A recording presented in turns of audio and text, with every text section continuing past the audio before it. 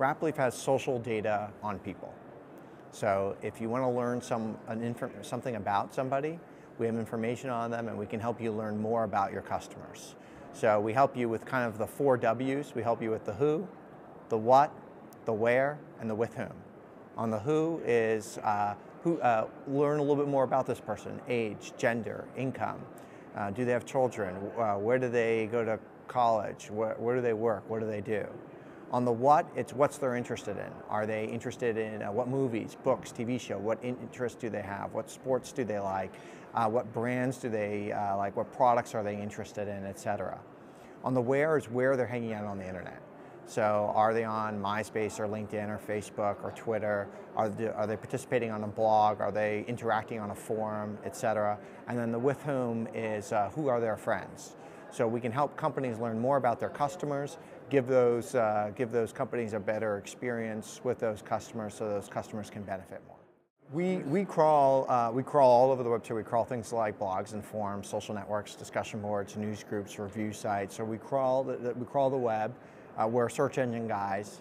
Uh. We learn uh, we learn about consumers and we learn about um, uh, basically who your customers are, cool. Uh, what they're doing, and what they're interested in. So I'm in lead gen. So I say, look, I want to sell my leads for hire to BMW. Right. So I take my leads and I ship them to you, and then you fill in the you fill in all the stuff, and then I can sell those for a higher price. That's exactly right. So uh, we can help you qualify your leads better. We can help you ask less questions to those people so they're faster, fill out the form.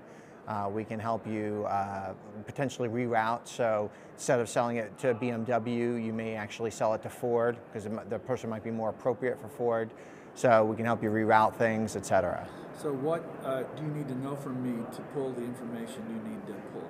Um, any type of, uh, we usually... home address? The, that's great, or things like email or hash of an email, or just an ID that's associated. email itself will give you something? Yeah, absolutely. So yeah, so yes, the email we have. Uh, what if I just get first name and email address? That's perfect. So uh, email is a great key. It's a good it's a good identifier on a, person, um, and we can help you learn more about. Now we can never give you an email address. Um, I'm uh, give it to you. But if you give me an email address, I can give you data about that particular person. What are you going to charge me if, if I'm in volume?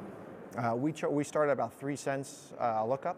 And then depending on volume, it could potentially go down over time. By lookup, you mean total, whatever you look up for one guy, not three percent for every little thing you look No, yeah, for, for, for a person.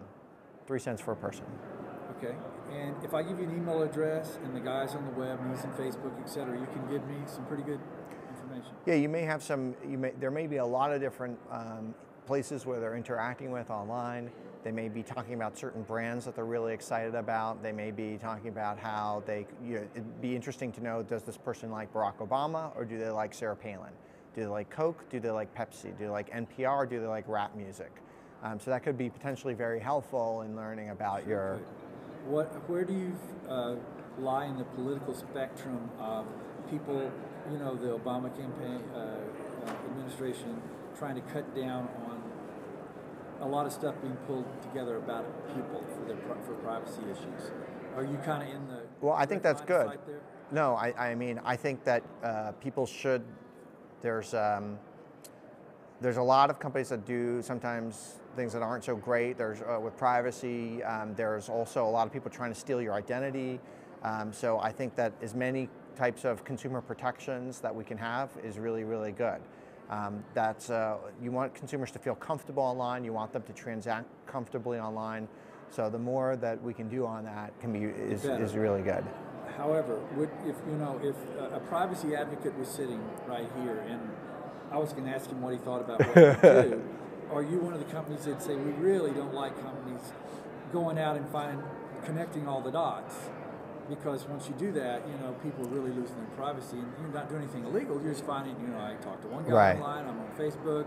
I've got my Digg. I got my delicious. I'm showing you what I'm linking to other people, but I don't necessarily want anybody to my boss to know that. So, uh, is it? How, how do you respond to that?